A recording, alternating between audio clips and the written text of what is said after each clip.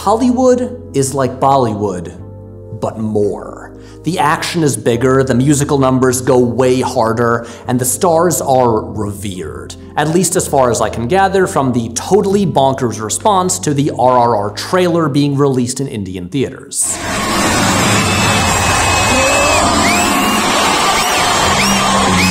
Now let's see a Marvel movie top that. Oh, what a shot. I love it. Oh, What a good yes. payoff.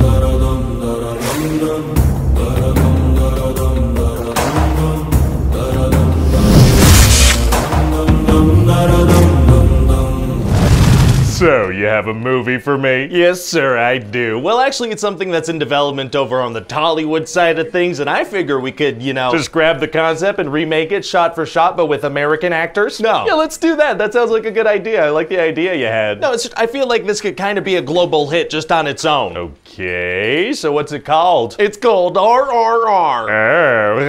Yeah, exactly, except no, it stands for Rise, Roar, Revolt. I kinda roared. Yeah, a little. Amazing. Strap in for the year's most eye popping, crowd pleasing spectacle that brings a joy to action filmmaking not seen since Stephen Chow or James Cameron, that will have even the most jaded Hollywood moviegoer dancing in the aisles and rushing to catch up on at least 50 years of Tolly and Bollywood films to see what they've missed.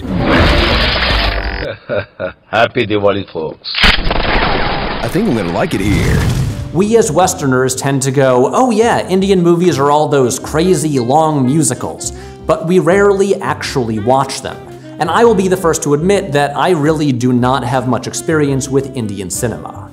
But whether you do or not, RRR is something you should know about and watch for two reasons. One, it is genuinely a major event in modern international cinema, and two, it absolutely rules. Like, this movie goes so hard. It is so fucking good that if you are able to see it and you choose not to, you are actively making the choice to live a worse life. In research for this, I found out that a lot of the most expensive non-English language films end up being either like soulless state propaganda or just flat out bad for some reason. I think it's often the case because once the film becomes too expensive, they evolve into something where the artistic value becomes more of an afterthought. But this mm-hmm. wasn't the case with RRR. This film's record-breaking $69 million budget was used to assemble a dream cast of actors who no other production could afford to have all in one place. There were thousands of stuntmen, VFX workers. This is the first Indian film to be shot on an Alexa LF, allowing them to shoot it in native 4K on the best type of digital camera the industry has right now. Kudos to the VFX artist on that shot. Every single time I see it, that little arc of the background rocket over Ram's head, just per- mm. Yeah. it's like sometimes you're just like, you know what? Those Bezier curves just hit.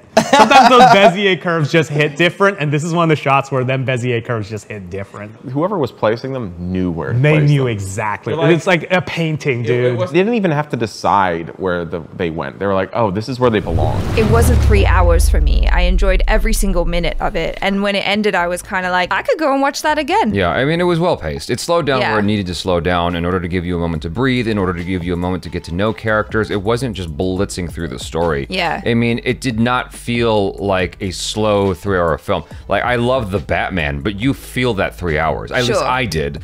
And I really, really like that film. This is three hours and 10 minutes. It's longer than Bat- the Batman, but it didn't feel like it felt closer to two and a half hours Yeah, for me. Just yeah. because the pace. The pacing you know, it- was really, really good. This movie, it was just, I, I was so in love with it.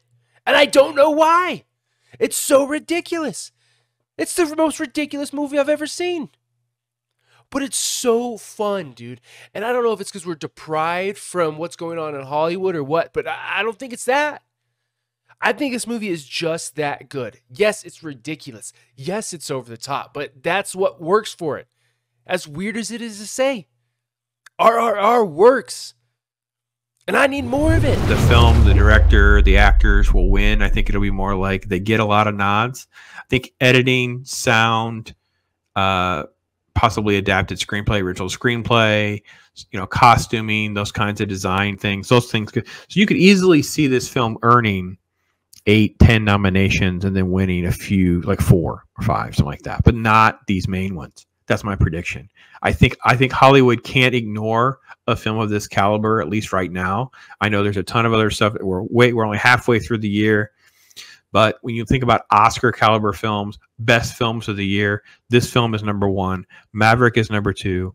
And then I have other films that are not Oscar caliber films. Triple R is a great movie that left me with the same positive, exhilarated feeling that I had after watching Top Gun Maverick. Yeah, it's very different from the kind of films we're used to over here, but maybe that's why it appealed to me so much. It's proof, as if you even needed it, that quality stories really are universal, that they can transcend time, cultural, and even language barriers, unite us in our shared appreciation, and deliver just as much enjoyment to a drunken, cynical asshole in Scotland as they do to audiences on the other side of the world in India. And to be honest, I think we could all do with a bit more of that from time to time. I could tell you exactly what happens in this entire movie, and I still It'd don't still think be- it would spoil your enjoyment Yeah. of the experience of watching it. And I'm so glad that you're gonna get to see Yeah, it can't wait. in a it cinema. makes me so happy. This is, and I afterwards as well. Like the instant it's done, you want to. I need to. I need to get more people to watch this. Like this movie can bring about world peace.